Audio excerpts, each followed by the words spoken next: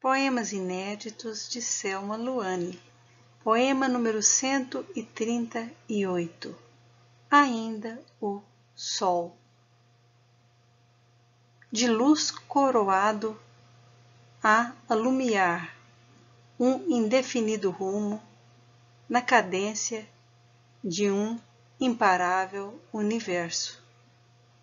Primordial, átomos preserva e cria vidas e prazeres por acaso permite, quentura e luz proporciona, belo, belíssimo, imponente, para os seus sem par, Pai.